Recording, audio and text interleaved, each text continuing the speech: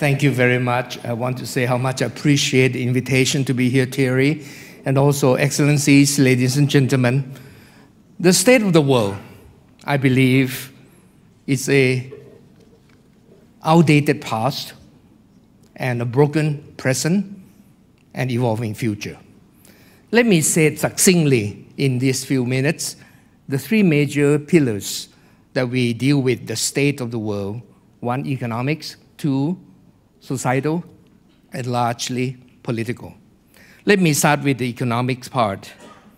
I believe there are five major key areas in the economic state of the world that we need to look at them as a, a key examples of what we are at contemporary. The first thing would be disparity. Disparity of the have and the have not.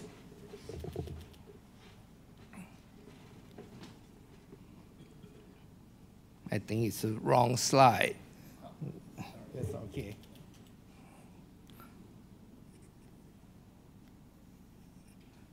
Let me just walk you through without the PowerPoint. The first point would be I think the contemporary world is at the state of disparity of the have and the have not. What do I mean by that? You can see about 15 years ago, I create a rule in one of my articles would be the rule of 99.1. Basically, the tendency is to have 1% of the people able to accumulate 99% of the wealth and assets. These are the disparity tendency without intervention. And there's all kind of good and bad interventions. Bad interventions could even do it make it worse. But good kind interventions need to be thought through. But what we have seen is the world with capital have and capital have not, education have and education have not, skill have and skill have not.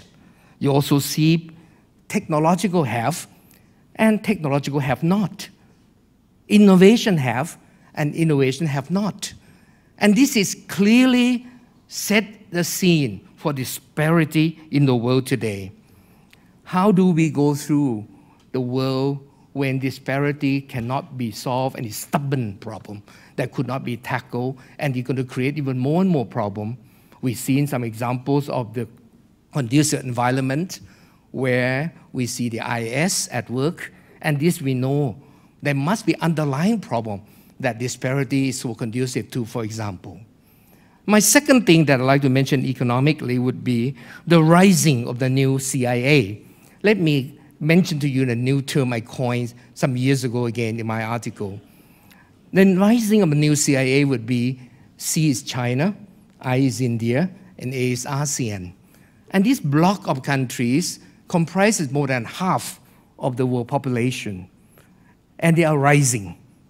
Though some of you can see clearly the rising China, which is almost there, the rising India, which is follow suit, and the clear engine of the ASEAN, if they can stay together and integrated and not falling by the wayside, the three blocks combined, ASEAN gluing the not often able to be together of India and China, it could be a formidable issue of the future. My third ideas I would like to mention in the economic situation would be multinational corporations as kings. We have seen this for years now, and it's going to be even more prevalent in the coming futures. For example, just looking at the situation of China and India, in the year 2003, we have 19 of top 500 corporations that are from these countries. But a few years ago, 2012, 127 of the top 500 are from India and China. These are the rising indicators of what is coming. Now, multinational corporations will expand and continue to dominate. My fourth key ideas I would like to mention is I call technological convergence innovation. I do believe that we are living in a highly technological breakthrough in many spheres. but yet to see the real convergence of all this technology in combination. And once it precipitates in innovations, it will drive even more in the coming future. Last point in e economic sphere would be governance crisis.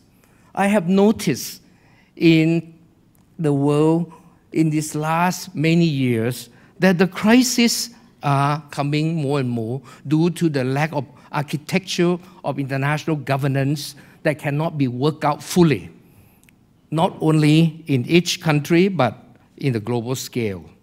Now, let me turn quickly to the second pillar, the societal pillar. Again, five key areas I want to mention. One, I see the issue of aging population coming even more at the forefront and faster than we think. We're going to have a lot of old people over 65 years of age, more than roughly 17% soon and very soon. And this will present to us a problem we have never experienced in the entire human history. The second thing is refugee and migration crisis. Not only domestic migration due to displacement of people due to internal revolt and shift of power base, but also international migration that will take on a major key issues that you're already seeing so in the last few years in Europe, taking refugees from other parts of the world. This is going to be more due to the turbulent world we are living in. I also see clearly the urbanization issues that are coming forward. Recently, I wrote an article in my own, Uh, uh, in my own newspaper column that we need to coin a new term called Magna City, which is going to come. Urbanization in number is already seen half of the world living in the urban areas. It will be 70% in the next few many years. But what is more interesting is how do cities of mega size and meta size no longer going to be the issue of the future, but the future will be cities, what I call magna city, which takes on the characteristics of huge number of people living together, more than 50 million people in one continual block. That's going to be a landmass of density that we don't know how to manage yet and is beyond what we have learned in human history. Urbanization that take on the various dimension would challenge us. Bring me to the fourth dimension also, what I call morality frontiers challenges. Due to many issues that have emerged, technological advancements that bring about issues that we need to crack through ethics, morality that is behind those implications is going to come more and more into the forefront of the liberation of this issue. We, we will see not only the cloning that is an old issue that is going to come back again, issue of mercy killing, sexual revolution, the AI and robotic improvement that goes so far will bring about morality issue that we need to deal with in the coming days. We also have a, the last five, fifth issue of the societal pillars that I see coming clearly seen is terrorism fatigue. And this is, is not only is here everywhere, we accept it and we don't know how to solve it, it's a fatigue which make it weigh down the entire world of how to handle this properly. Let me quickly turn to my last pillar, political pillars. Five things again that I want to mention. One, we have already passed the age of bipolarity to hegemony of, of unipolarity, but it's moving to multipolarity with subgrouping within each of those polars.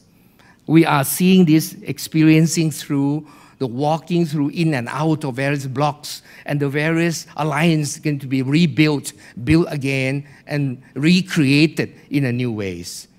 This is the world, political world that we're going to live in.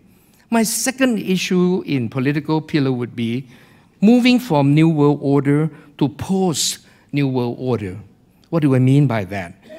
The liberal order that we have seen in the New World Order will be shifted towards, I think, what I call the pragmatism or pragmatic order. What we have seen, the announcement that come through President Trump, I concur with Richard Cooper from Harvard that it wasn't really true protectionism. It's actually it's selective protectionism, our pragmatic benefits that you are gaining. And this is going to be some issue that would be on the table. Pragmatism of Turkey in EU, of EU, joining NATO, not joining NATO, moving in with Russia, or India or not. Those are some pragmatism. Brexit, we no longer are people who are ideologically consistent. We are people who are more and more result oriented. And pragmatic result is what we're getting at.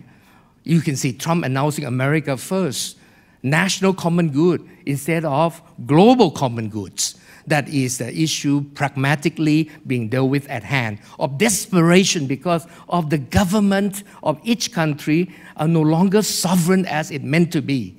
The erosion of the sovereignty of each uh, sovereign state has come through the age of globalization that we have never seen like this before. And this is the real issue that is changing many things. My third point that I want to mention, the political pillar, will be separatism syndrome. You notice that separatists are coming more and more as a reaction to the inability to, uh, to solve problem in certain cluster of grouping of affinity, be it ethnic, religious, or many other groupings. You see the self-determination effort to rely on themselves by separate out. See the Brexit issue, the Scotland, the North Island, Wales, and the UK, Basque from Spain and France, Catalonia, and from Spain. You've seen the issue of Lombardia, from Italy, and many other places, Kurdistan, that want to come out from Turkey, from Iran, Iraq, Syria, Tibet, Uyghur, from China, Taiwan. All these issues, I call them separatism syndrome as a reaction to try to have some self determination in a world where they cannot control and cannot rely on a broader grouping. My fourth examples would be what I call non professional politicians. Being a politician myself for many years, I have noticed that you no longer professional politicians that are being called upon. The world is desperately grasping for a unconventional way, an unconventional style politics anti-establishment that have no hope. And they're searching for all kinds. You look at the world having Trumps, having Duterte of Philippines, having people like Jokowi, which is unconventional in Indonesia, all types, and the young leaders that emerge, which we can never dream of way back, are happening, being elected everywhere, is calling for unprofessional politicians who are going to be different from the establishment they, are, they have been used to. And finally, my last example would be democratic breakdown. I have noticed carefully when I was working together with Bertelsmann uh, people in Germany in the Demo Democracy Index for many years in the last decade, I noticed that countries have turned democratic, at least in form, democratic election, for example, are not increasing but decreasing. You notice that the year 2000, 120 countries out of 192 are democratic. By the year, 12 years later, 118 out of 194 are democratic. The percentage decreased. We are not moving forward. We are moving backward. We're rolling backward. The coup d'etat could never been expected for many places have been experienced, even in my own country. We was a shining star for democracy in many decades ago. We roll back to the coup d'etat government. Freedom of the people index have measured the going down of the freedom of the people.